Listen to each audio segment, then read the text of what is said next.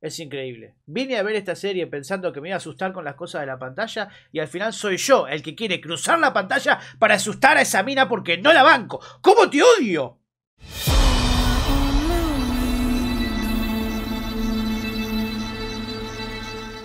Aló, gente, y bienvenidos a un nuevo video de Lean acá en mi canal Lean de la Sabia, donde yo hablo de cosas que me apasionan y las series de Mike Flanagan de Netflix son una de esas cosas. En este video voy a estar hablando de la nueva serie de Netflix Misa de Medianoche o Midnight Mass. Voy a estar contando de qué trata, qué hay que saber antes de verla y después dando mi opinión sin spoilers. En este video no va a haber spoilers y este video va a estar separado en partes por si se quieren saltear. Tengo ganas de hacer un video hablando sobre el final, capaz que lo haga para sábado o a lo sumo domingo. Déjenme en los comentarios, así voy viendo si la van terminando, la van viendo o no. Si son nuevos en mi canal, sepan que yo no soy un maestro del terror, no consumo muchas cosas del terror, pero sí me había animado a ver Hill House porque mucha gente me la recomendó y me encantó. Por eso es que terminé viendo Blind Manor y me encantó también, a pesar de que es una serie distinta. Y después en este video voy a contar por qué también me encantó esta a su manera. Por ende pueden ver los videos de las otras dos series si quieren que les dejo los links abajo también. Obviamente que esta va a ser mi opinión respecto a la serie. Abajo en los comentarios me gustaría que me dejen. ¿Les interesa ver la serie? ¿La vieron? ¿Qué opinaron? Pero traten de no spoilear. Si quieren spoilear, pongan spoiler, aprieten enter muchas veces y ahí spoileen porque no le quiero arruinar la experiencia a nadie. Voy a tratar de borrar cualquier comentario que spoilee. Ok, entonces, ¿qué tienen que saber sobre esta serie? Primero que nada, que justamente es una miniserie. O sea, no está pensada para que continúe. Es un paquete completo así como viene. Son 7 capítulos que duran 60 minutos algunos un poquito más. Es una serie de suspenso, drama, tensión, reflexión y un poco de susto, aunque no tanto o de la manera que uno esperaría. Hay un par de cosas que tengo que avisar. Primero que nada, eh, si no te gusta ver que hagan cosas con animales que justamente no son caricias, guarda. Y otro aviso que me parece que tengo que hacer es el tema de que es una serie que va muy de lleno, justamente con lo que es la religión. Y no solo católica, también con el ateísmo, muchas cosas muy profundas. En mi opinión no siento que hable mal de ninguna religión o del ateísmo. Es como que es una cuestión de que hay personas que lo toman de una manera, personas que lo toman de otra, pero si no te gusta el lado crítico de todos los lados, o sea, que, que critiquen o que cuestionen, por ahí eh, te caiga mal. No es una adaptación de una novela ni nada, es una historia de Mike Flanagan que él viene preparando hace muchos años. Tiene influencias de lo que fue su infancia porque él fue monaguillo y tuvo mucha relación con lo que es la iglesia católica. Pero tengan en cuenta que es una serie que como las otras de Mike Flanagan va un poco para el lado sobrenatural. Otra cosa que quiero recomendar es no vean el trailer antes de ver la serie. O sea, si lo hubieran visto el trailer hace dos semanas, bueno, porque uno se olvida dos semanas después. Pero si ven el trailer hoy, es probable que el trailer les spoilee cosas. ¿Y qué personajes tiene y de qué va la trama? Básicamente hay dos tramas que son las disparadoras y son justamente los dos protagonistas de la serie. Primero que nada hay que tener en cuenta que todo transcurre dentro de la isla Crockett que eh, tiene 127 habitantes. El primer protagonista es Riley Finn que nació y fue criado en la isla pero se fue de adulto y hace cuatro años, por estar alcoholizado, tuvo un accidente en el que mató a una chica. Por este motivo fue que quedó preso y quedó bastante traumado. Cuatro años después es el presente de la serie y él vuelve a la isla. Vuelve bastante cambiado, de hecho ya ni siquiera cree en ninguna religión a pesar de que estudió mucha. Y por otro lado, el otro protagonista es el padre Paul, que viene a la isla para reemplazar al antiguo padre de la iglesia, al Monseñor Pruitt. Que de hecho ahí como se ve en el cartel, estaban esperando a que vuelva el Monseñor Pruitt, pero no pudo venir. Resulta que el padre Paul viene acá y sorprende a muchas personas porque no estaban esperando a alguien nuevo. Y de a poquito va como renovando lo que es la creencia en la iglesia católica en la isla. Principalmente porque tiene una manera muy carismática y atrapante de pregonar la palabra del Señor. Y a simple vista tenemos que vino un ateo a la isla y vino un católico a la isla. No es que va a ser una cuestión de blanco o negro la serie. No, de hecho hay muchas posturas diferentes. Por ejemplo, la del sheriff, que también es medio nuevo en la isla, el sheriff Hassan, que es el actor Raúl Colli, que ya estuvo en Blind Manor, pero yo lo sigo en podcast porque es muy gamer y hace muchos eventos y me causa gracia porque él es muy gracioso en la vida real y nada que ver con el personaje de acá.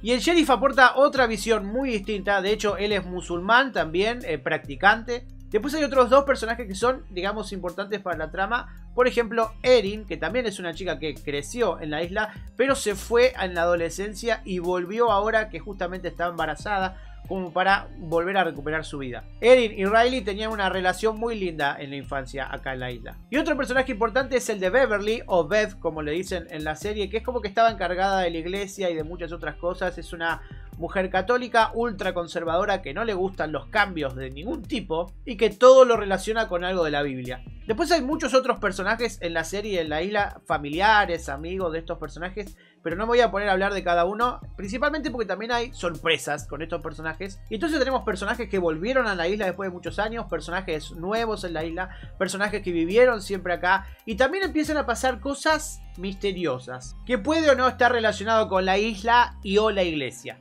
Ahora, entrando más que nada a lo que es mi opinión, la serie me gustó mucho. Yo sé que mucha gente le interesaría saber si me gusta más o menos que Blind Manor o Hill Manor, pero es que pasa lo mismo que con esas dos series.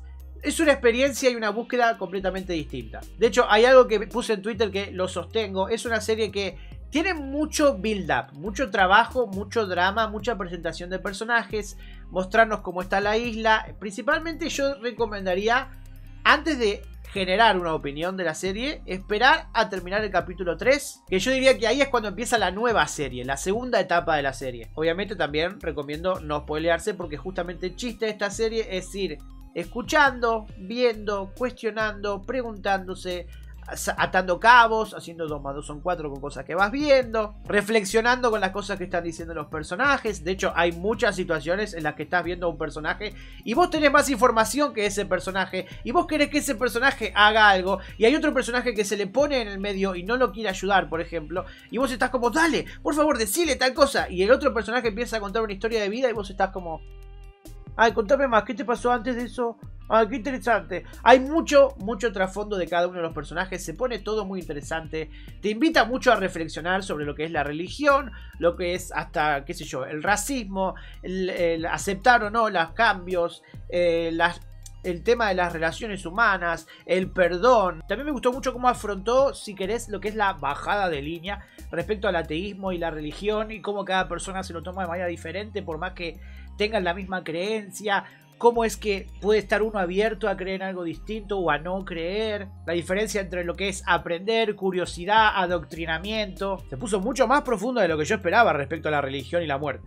Me pareció un muy lindo viaje, la verdad la serie, las cosas que me hizo sentir, me hizo emocionar en partes, me hizo reflexionar, encantó cómo te hacía poner en el lugar de muchos personajes, tener que entenderlos. Me generó satisfacción con lo que es eh, terminar ciertas historias. Hay cosas que me sorprendieron mucho de esta serie, no quiero decir cuáles para no spoilear y para no arruinar la experiencia, pero la verdad me hicieron sentir como, no puedo creer la relación que están haciendo entre esto y esto y que quede tan bien y que haya personajes que defiendan muy bien su postura y yo diga, ay, qué frustración, no puedo creer que todo tenga relación con todo. Lo que es llamativo es que uno esperaría que sea una serie de terror, pero no es tanto de terror. De hecho, es otro estilo de miedo el que genera. Es más que nada la impotencia, la frustración, la tensión, poco desesperación también. No es tanto el salto tipo el jumpscare que hay todo el tiempo, aunque hay de eso. Y ese es el motivo por el que a mí me gustó la serie, porque a mí no me gusta que me asusten todo el tiempo, no, a mí me gusta que me genere tensión, suspenso, que me genere pensar en los personajes, ponerme en el lugar de ellos,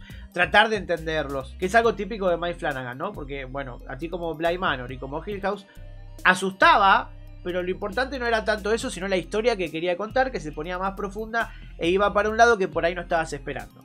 A pesar de que por ahí esta serie tiene alguna que otra cosa, algo predecible, principalmente si prestas atención, sigue siendo igual sorpresiva, principalmente con lo que hacen los personajes o cómo son. Después hay otras cosas que también son típicas de Mike Flanagan, por ejemplo, los actores que repiten, que ya los viste en las otras series, y también los planos secuencias largos que tiene. Hay escenas de plano secuencia tipo de 7, 10 minutos en las que hay diferentes actores interactuando entre sí, que parece una obra de teatro literal, con el único detalle de que hay una cámara girando alrededor de ellos. Hermoso, porque encima reluce a cada uno de los personajes verlos en una situación así. Y también ese trauma que por lo menos ahí me quedó desde Hill House, que estoy mirando las ventanas, los reflejos, las paredes, a ver si encontrás detalles. Y hay algún que otro detalle. Las actuaciones estuvieron todas muy bien, pero tengo que destacar tres. El padre Paul, primero que nada, me parece que, no te digo que se robó la serie, pero estuvo cerca. Como que a mí, siendo ateo, me atrapaba con las cosas que decía, los sermones en las misas, lo que hacía fuera de las misas, como que te llevaba, te atrapaba. Otro personaje que solo voy a decir que logró perfectamente increíblemente lo que la serie quería con ella, que es Beverly. Y el sheriff Hassan, que en el medio de la temporada me contó una historia que no estaba esperando, me encantó y me hizo empatizar completamente con su historia y su postura. Algo que quiero destacar es el manejo de lo que es la locación, porque como es una isla íntima y estás como los 7 episodios acá, al fin de cuentas, en el último capítulo es como que sentís que conoces toda la isla y es como que es mejor conocer toda la isla porque podés ponerte mejor en el lugar de los personajes y sabés que pueden ir a tal lado o tal otro. Y también destaco el tema de las tomas, lo visual, el maquillaje. Después la serie no es perfecta, tiene sus conveniencias también que un poco me sacaron. Un poco me, me hicieron cuestionarme y poner... Tipo, pará, ¿Por qué a esta persona la lógica que me planteaste funciona de una manera y con otra persona funciona de otra manera? Otra cosa que noté, pero no es que me llegó a molestar, pero seguro que hay algunas personas que le moleste y está bien, es el tema de que algunas charlas o hasta monólogos de ciertos personajes eran muy largos y extendidos y es como que no hacía falta que sean tan largos, el punto se había logrado antes. Me pasó dos veces nada más, ¿eh? No es que todas las charlas son largas se pone muy profunda y hasta ciertos momentos demasiado profunda. Tipo, a mí que me encanta reflexionar y filosofar sobre la vida, hubo momentos en los que había personajes que tenían un monólogo tan largo que vos decís, bueno, pará, ya me estoy perdiendo. Por ende, sí, hay mucho drama, mucha charla en esta serie. Si no te gusta ese estilo de cosas, no te va a gustar la serie. Tiene mucho de todo la serie. Tiene contarte la historia, mostrándote cosas, en especial detalles que no te los cuenta, pero si vos prestas atención, suma a lo que está pasando. Después, contarte la historia contando cosas, o sea, con exposición de información y también deja muchas cosas abiertas a interpretación tuya. Lo que me lleva al final de la serie, que sí, voy a decir que para mí lo mejor de la serie, lo más fuerte fue, digamos, en el medio. El final no es que no me gustó, siento que generó satisfacción y todo, pero hubo muchas cosas del último capítulo que me sacaban de lugar. Y también tirando para el final hubo alguna que otra escena típica, medio cliché de películas de terror que me hizo pensar, dale, no hacía falta. Así todo, es un viaje que vale la pena hacer. No estoy diciendo que el final me arruinó la experiencia para nada. Y a pesar de sus cositas, siento que es una muy buena serie, que entiendo que no le va a gustar a todo el mundo, pero yo no puedo no recomendarla porque tiene muy buenas cosas, principalmente a mí que me encanta filosofar, reflexionar, escuchar a los personajes, el drama. Hasta odio me generaba esta serie, la frustración que me daban ganas de atravesar la pantalla y agarrar a alguien. ¡Ah!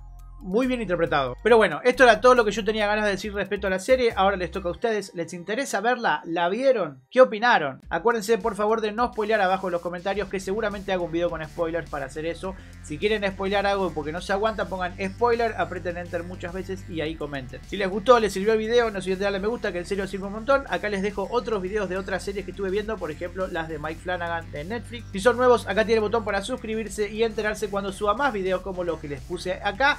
Como siempre, muchas gracias por haber llegado hasta acá y nos vemos en el próximo video de Lea.